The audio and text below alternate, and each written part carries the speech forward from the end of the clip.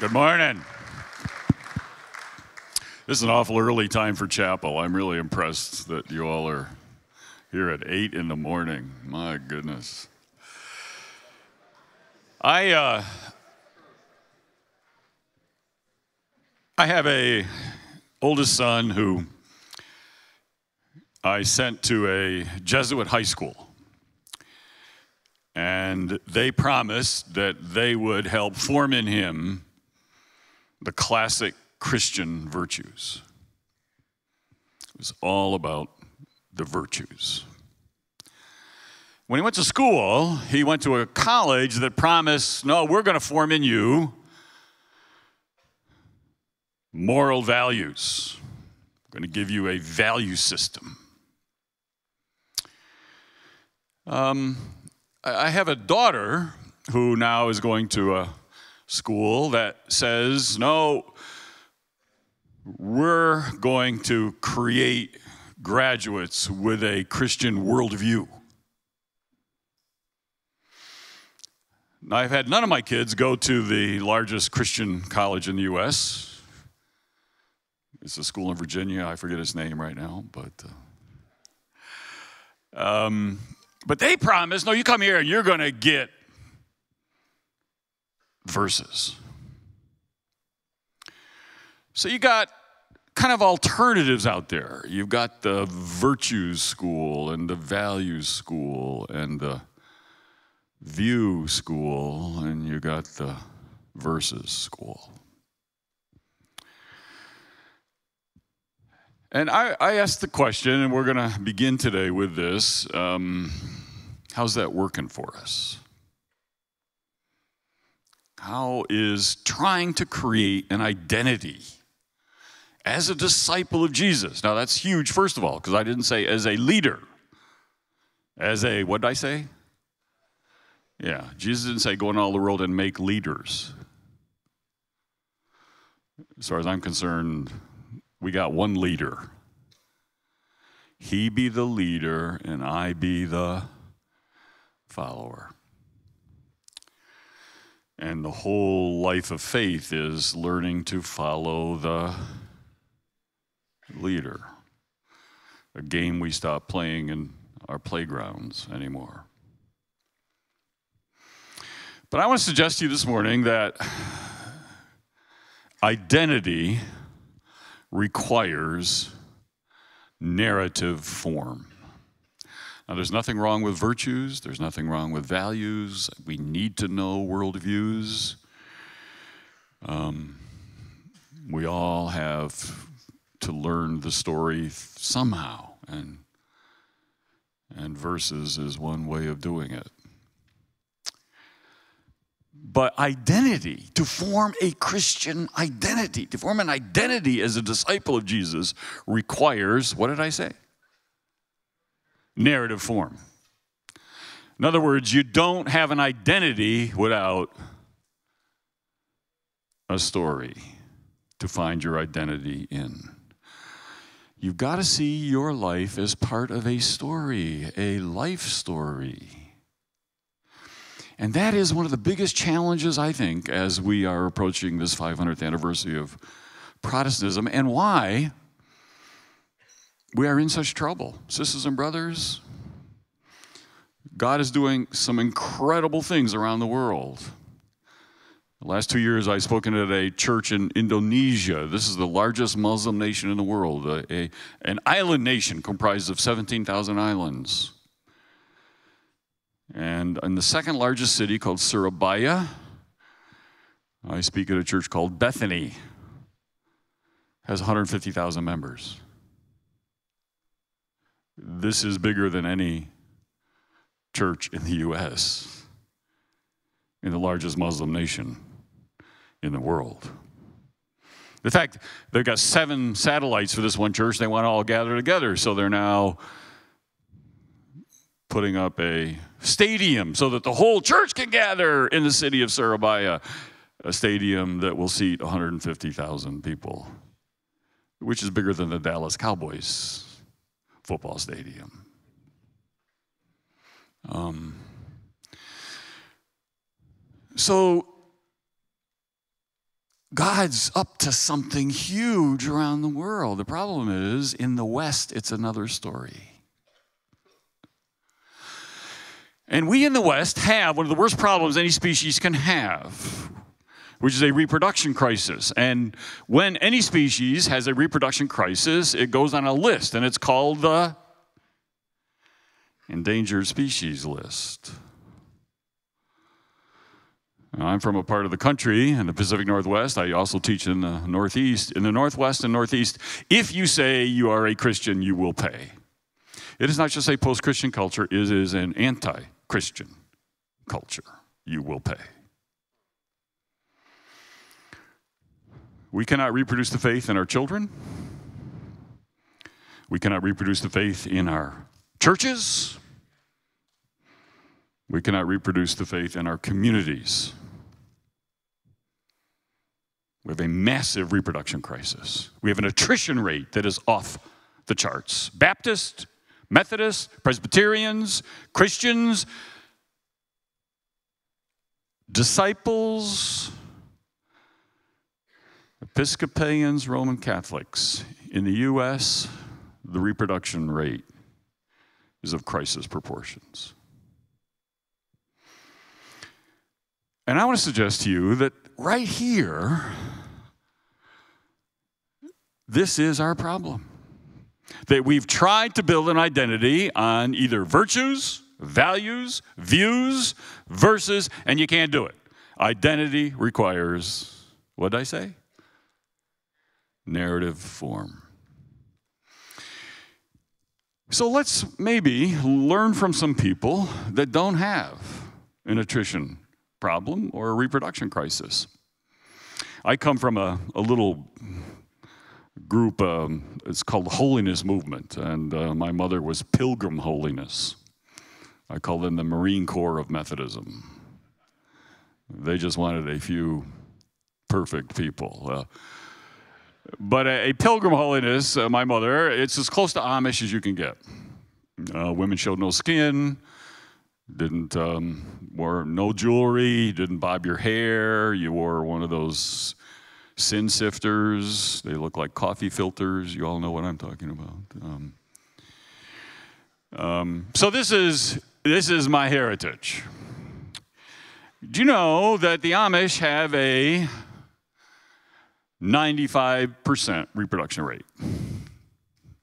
They reproduce the faith in 95% of their children. Now, you say, how in the world? This is one of the most severe, austere forms of Christian faith there is. How do they keep 95% of their kids? They only lose 5%. In fact, they're so few that they lose. There's a television program about them.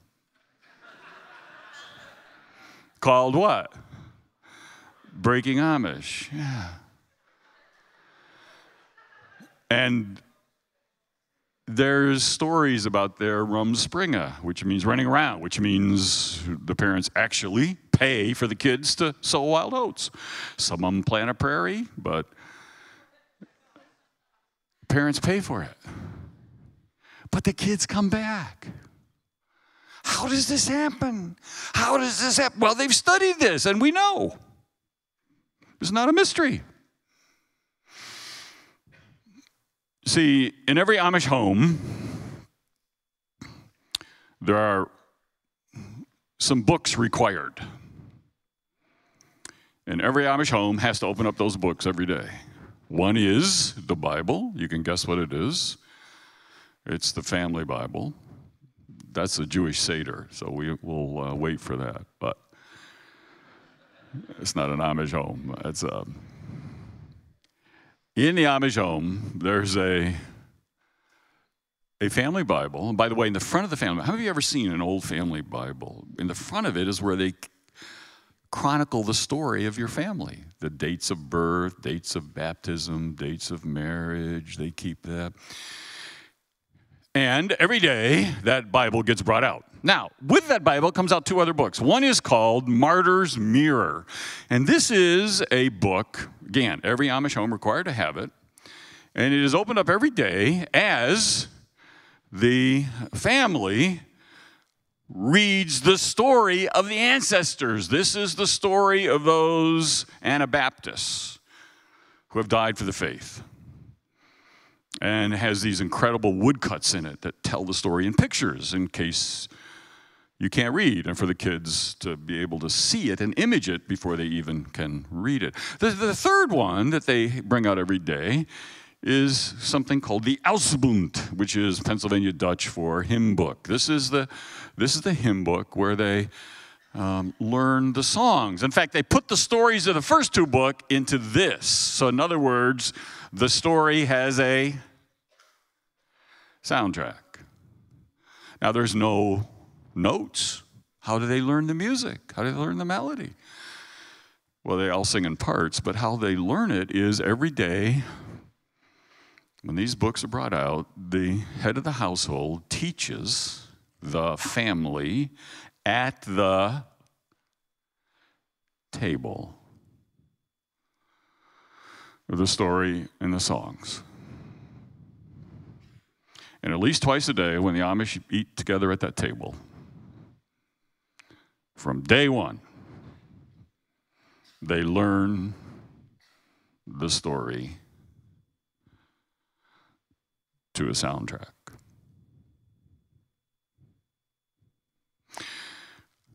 let me let me try again.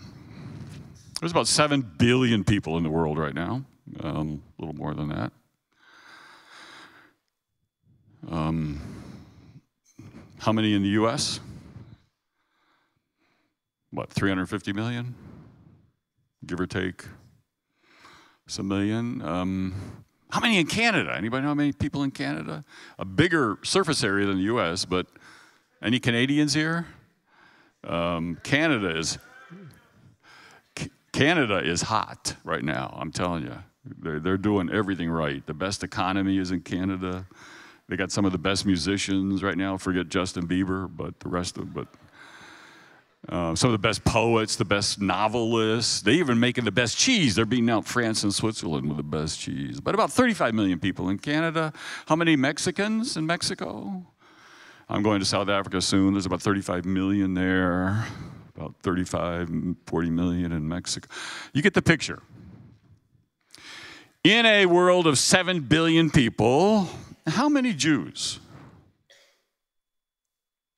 Now, there are a lot less than there should be because the 20th century was genocidal to Jews. Took out millions of them.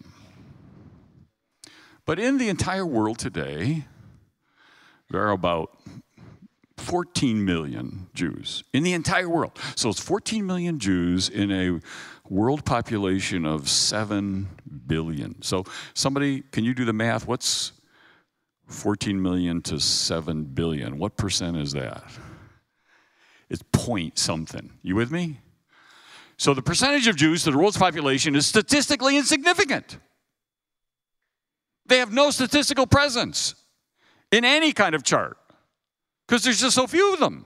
Let's forget that for a moment. Just suspend that right here, and let's now let's look at it another way.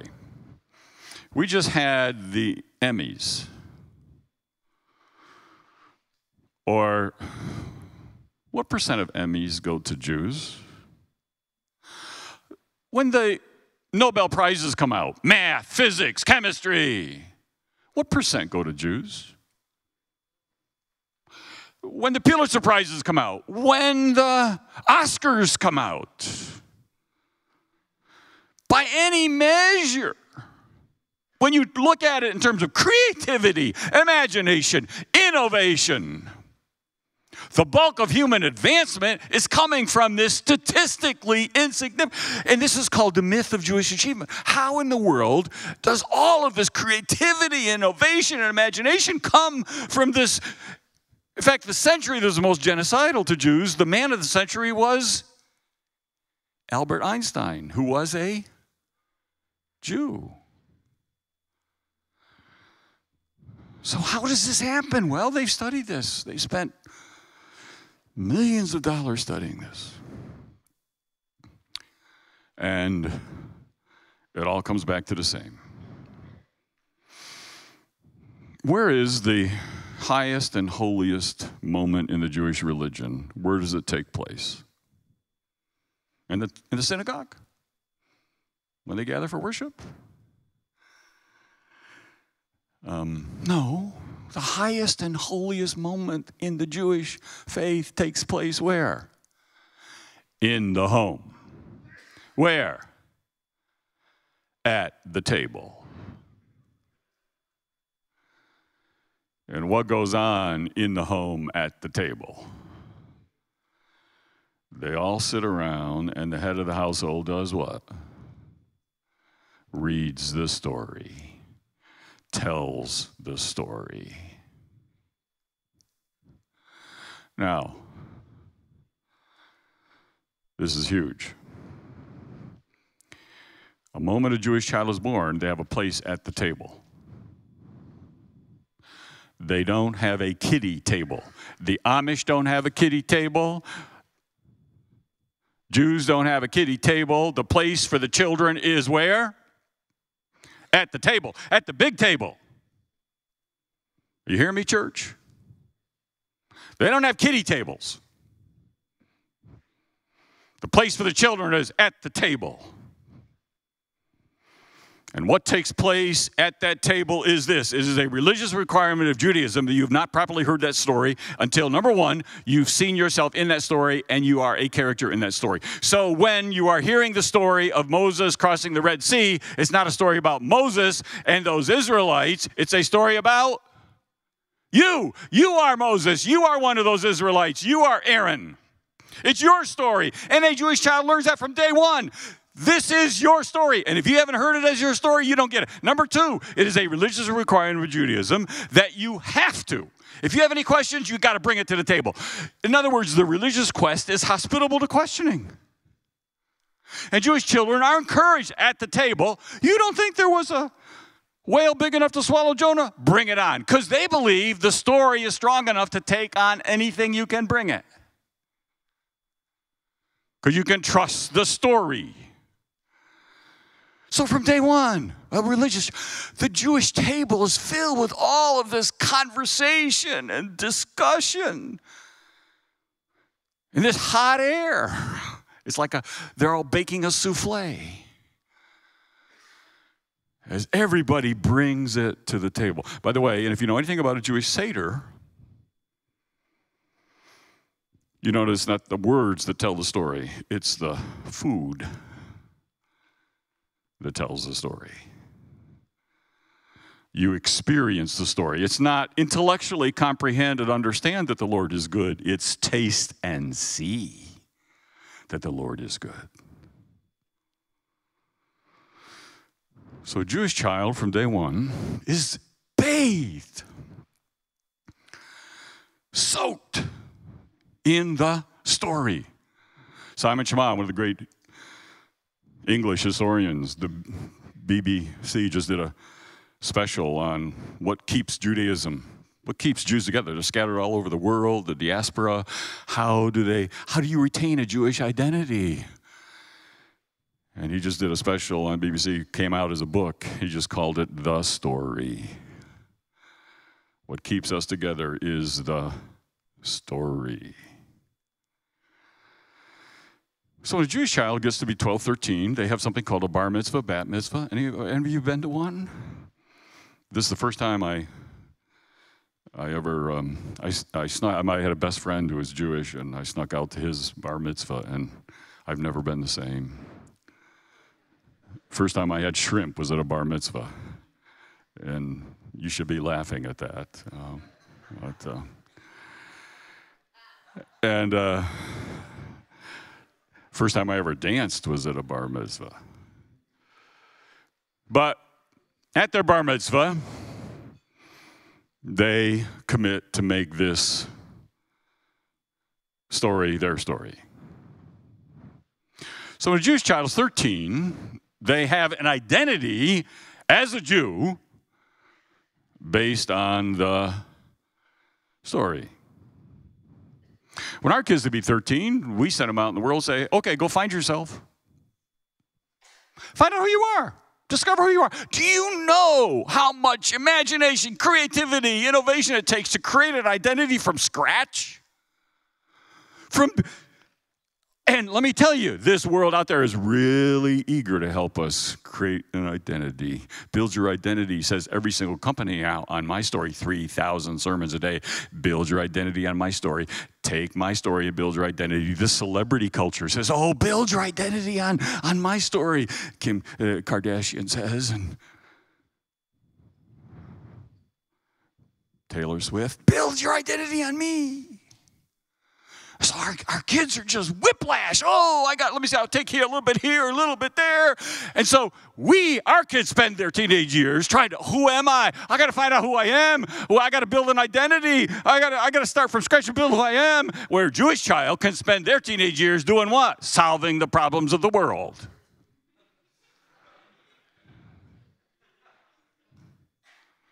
Being creative and imaginative and you know and you say to me well sweet now you're, you're this is not very pc because you're saying that from day one a child ought to be given an identity. Isn't that a little imperialistic? Isn't that a little colonialistic?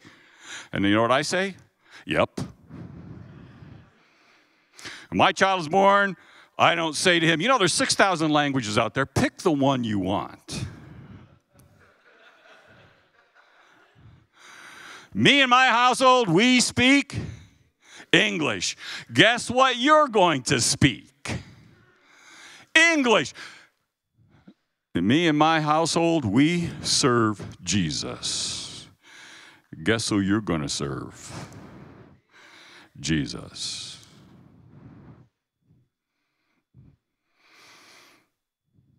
It is time for us to bring back the table. Because the best place to learn the story is at the table.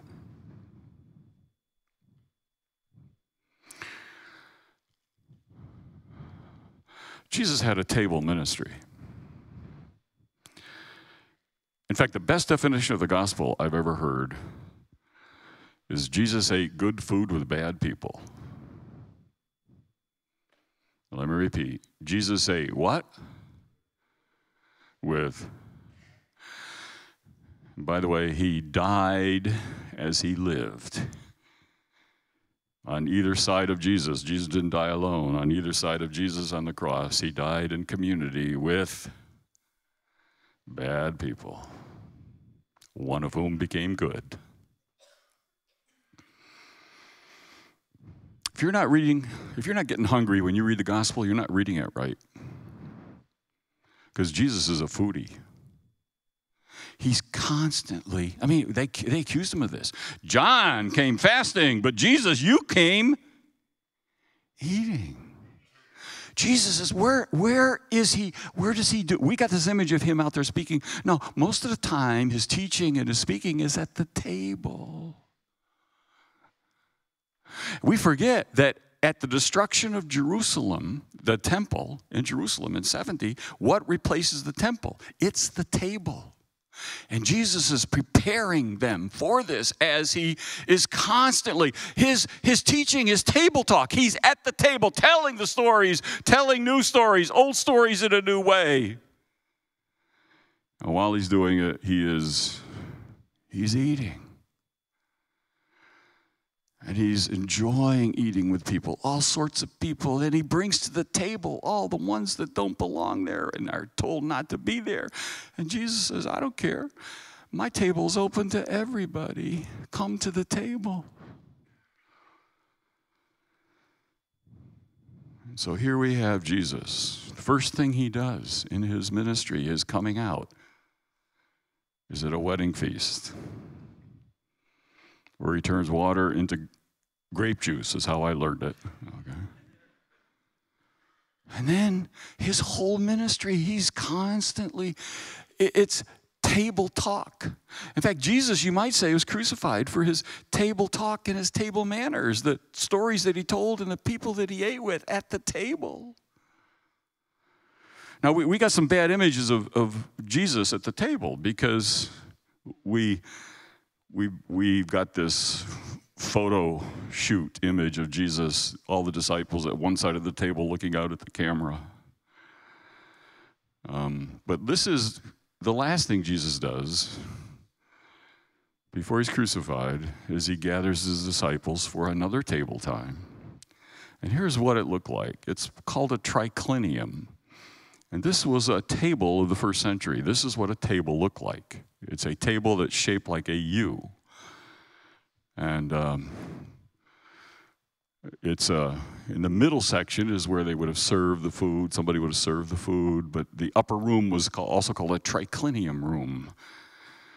And instead of sitting, most often they reclined. They could sit there as well, but they also reclined. And it's amazing to me that one of the most incredible moments in the story is to realize that on Jesus' left is John at his Last Supper, but he puts on his right, who's reclining with him at table? On his right,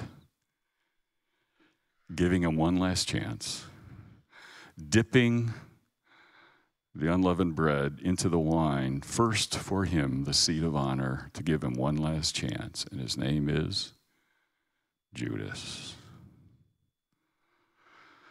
As Jesus, the last thing he does, gives Judas one last chance at the table. In fact, you can tell the whole story. You know, some of you have kids, some of you will have kids you will know what their first words are. You remember the first words of your kids. Your parents remember your first words.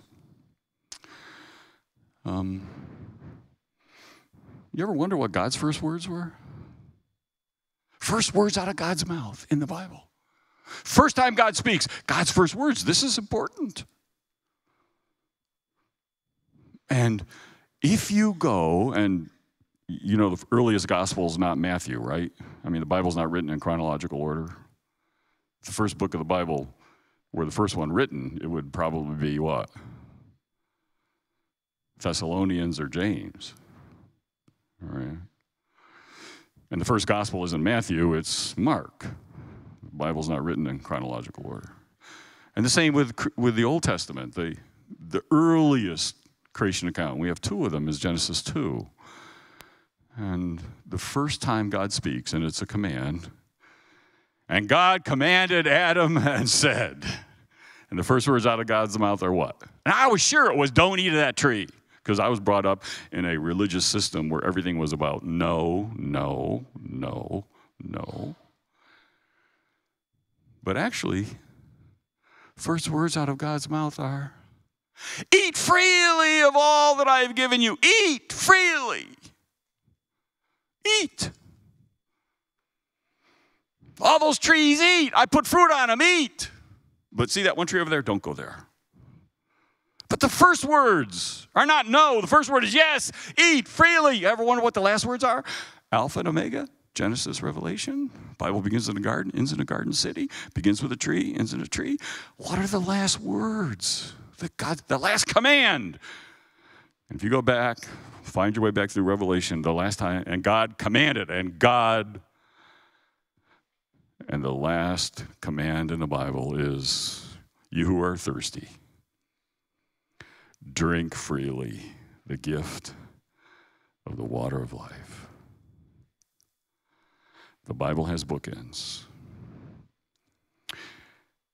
Eat freely, drink freely. The Bible is less a tablet of ink than a table of food. And on that table, called the Scriptures, is served up the bread of life and the cup of salvation, who is Jesus the Christ. It is all his story from Genesis to the maps. And it's at that table that we find the food to grow. Bring back the table. I, I, mean this both to see the Bible, the, the story as a table, but I also mean this, this literally. We've got to bring back the table, the table, into our homes. And I don't know what commitments you're going to make as you enter marriage life together, but I think one of the most important ones you can do is we will save as sacred table time. And we will have table rituals and we will have table manners. And my daughter last summer brought one of her roommates, stayed with us for 10 days. And after she left, I said to my daughter, How'd it go? Did she have a good time? Was everything okay? She said, Yeah, we made her nervous sometimes, though. And I said, Well, what do you mean? And, and my, my daughter said, Well, there were certain things we did. She just had never done before and wasn't very comfortable and had to get used to it. And I said, Well, can you give me an example? She said, Well, yeah, she didn't really like it when you told her she couldn't bring her device to the table. You see, this has never set foot on our dining room table. And I said, Well, okay, well, she's just got to get used to that. She said, Well, it was even is even harder for her because now this is my daughter's roommate at a Christian college who herself has been born and brought up a Christian. Because she's never eaten at a table before with a family. I said, What? That can't be. No, she said she's never had a meal with her family before at a table. I said, Soren, that can't be. They don't even have a table in her house. Then how do they eat? And Soren says, Well, they just kind of graze. And, and if they do eat together, they gather in front of the TV.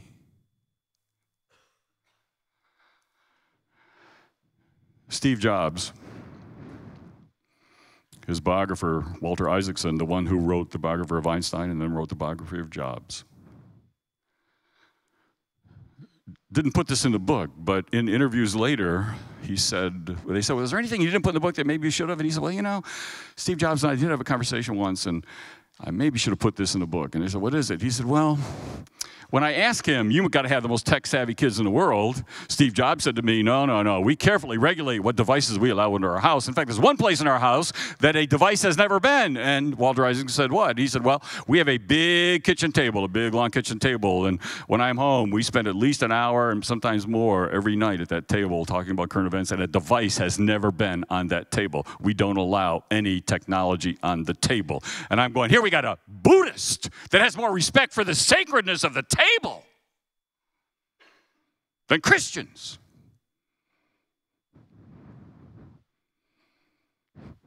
It's time to bring back the table.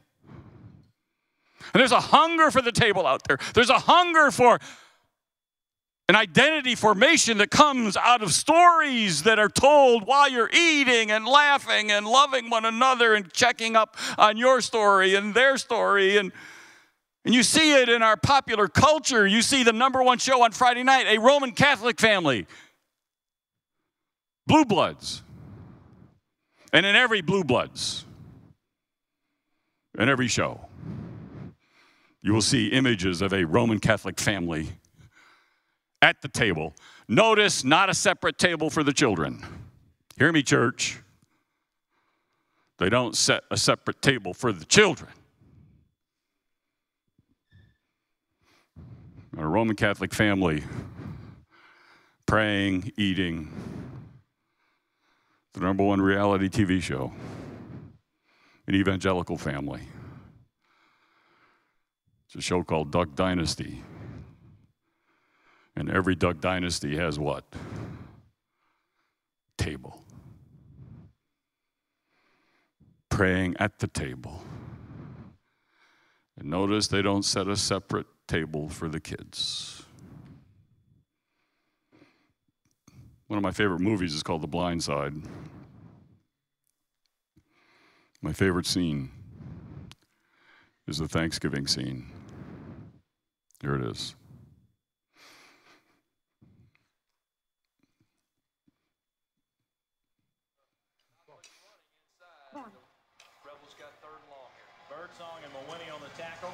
5 of 10 on third downs from the 26. Third down and 6 for the Red Come on, Spears. defense. High formation. Rain is slow. Let's see if they try a pass or not. Now Turner goes in motion out of the backfield. State showing blitz. Here they come. Manning to throw. Runs to his right. Throws it at the feet of the Hey! Whoa. What? No! But it's Thanksgiving. Wow. Why are we eating in here?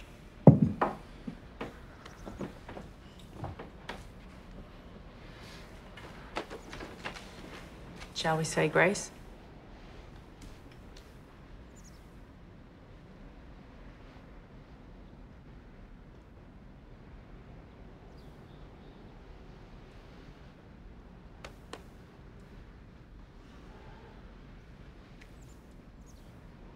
Heavenly Father, we thank you for all the many blessings on this family.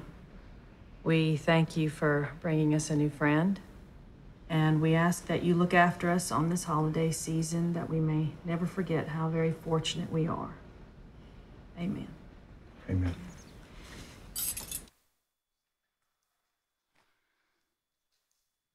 Bring back the table. For me, it's more than a metaphor. If you want, the table is, I think, the best way to look at the table, that literal table, is as a tree of life. We, we kind of sense this because if you want to make the table bigger, you add an extension, but you call those extension what? Leaves.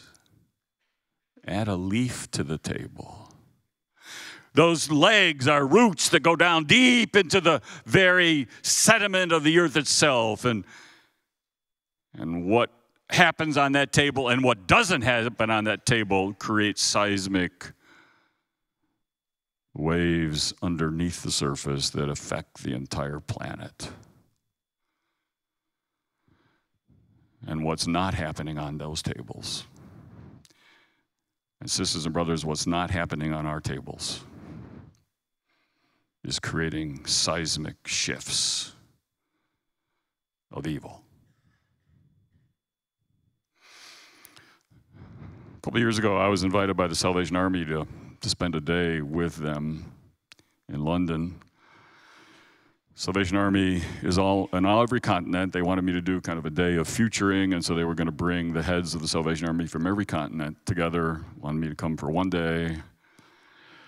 I said, well, you know, it's a long ways to go for one day, but I will do it if you will give me this guarantee that I can have a meal after the day is over with the worldwide head of the Salvation Army.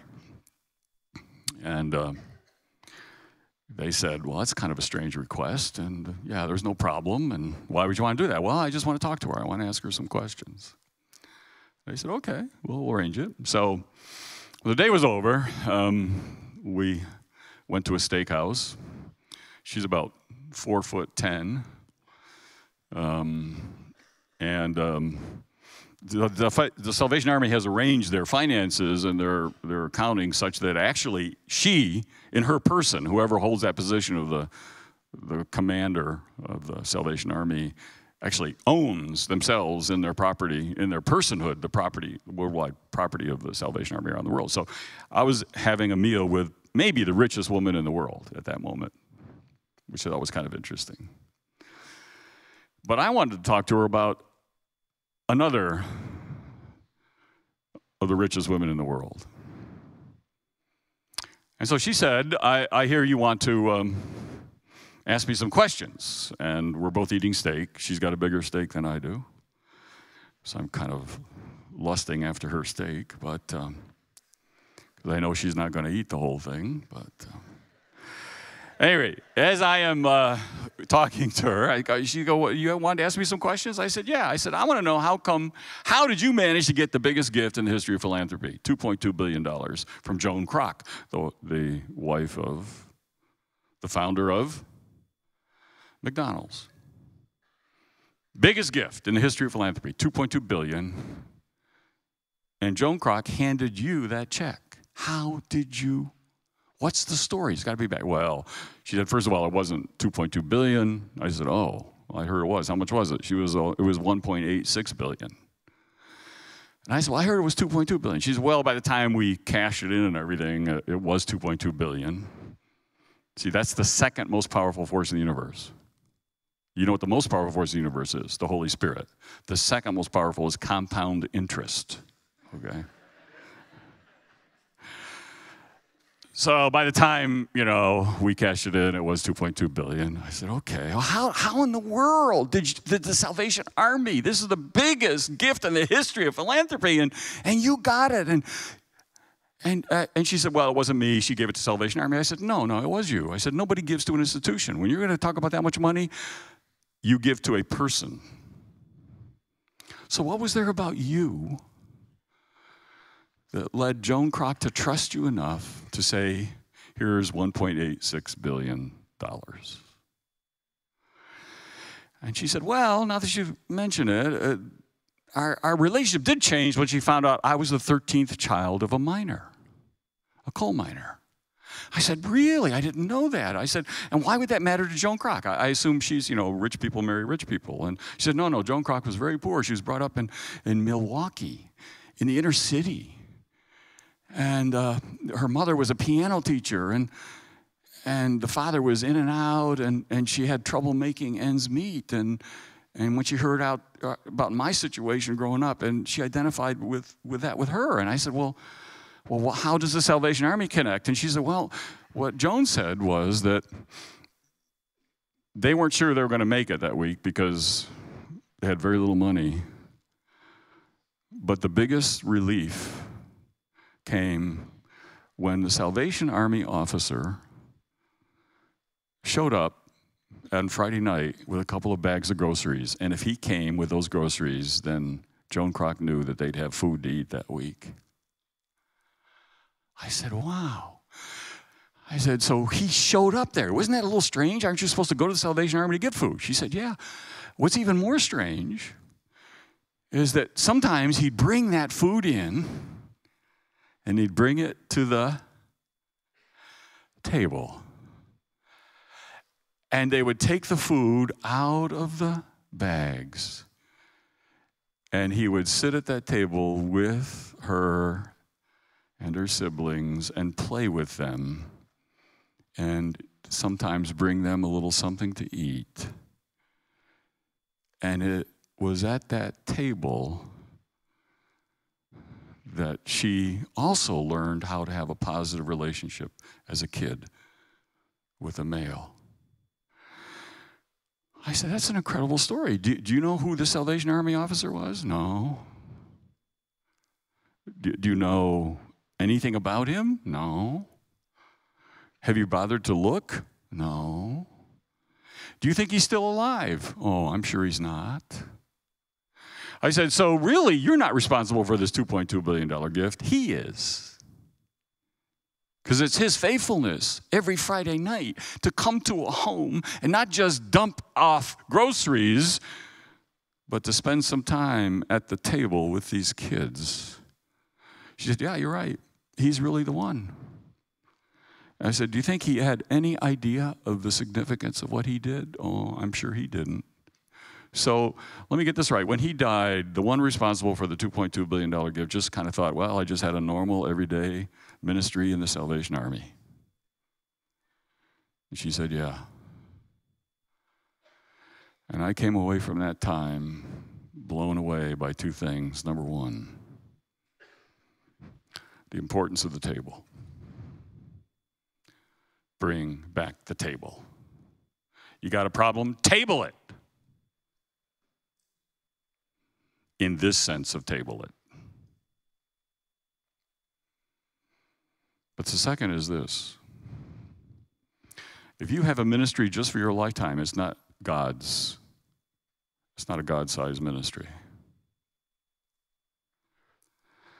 Every one of you ought to understand that the biggest blessing you will ever give in your ministry, you will probably never know about, and you don't need to. Because if you're a disciple of Jesus who is following him, you will do some things that you will have no idea their impact 10, 20, 50, 100 years from now. The greatest gifts and blessings you will ever give. You will never know about and may never be in your lifetime. And that's okay. Because it's not our mission, anyways, it's God's mission. Bring back the table. Let's pray. Lord, thank you for this morning. Thank you for this time. As we begin this day in your presence, I pray that as we are thinking about the future and how we build a life and a, and a, and a faith that is strong and sturdy and can bear fruit, that we may realize that identity comes in you and in your story, and the best place for that identity to be learned, that story to be told, is at the table. I pray it in Jesus' name. And all God's people said, Amen.